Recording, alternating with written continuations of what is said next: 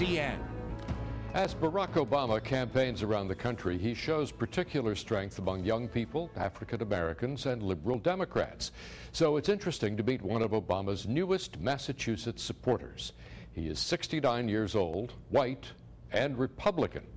Political reporter Alison King has our cover story.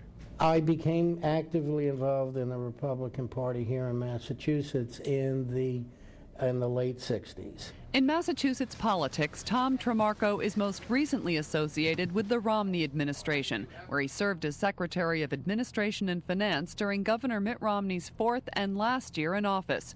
Trimarco also served as Deputy Treasurer under Republican Treasurer Joe Malone, and he was even the Republican candidate for Congress back in 1980 and 82, losing to Democrat Nick Mavroules.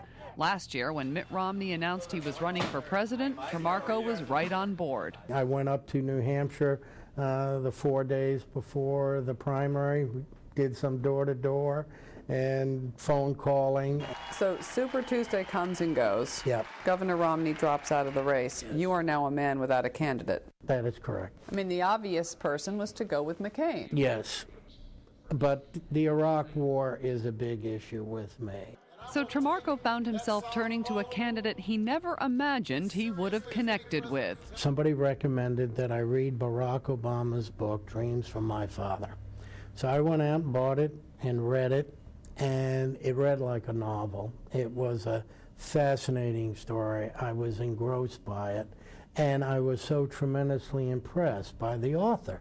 Trimarco is now an official Obamacan, as Republicans for Obama are called. You know what the Republican National Committee is quick to come out and say that Obama has the most liberal voting record in the Senate. I can't justify this on philosophical grounds. I'm clearly right of center. And I understand there are going to be many issues that I'll disagree with him about.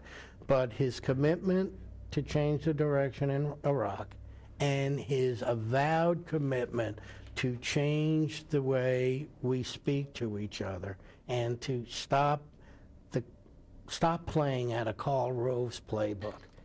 Hillary Clinton and Bill Clinton play out of Karl Rove's playbook. They differ on policies. I'm not saying they have the same policy, but political philosophies, it's the same.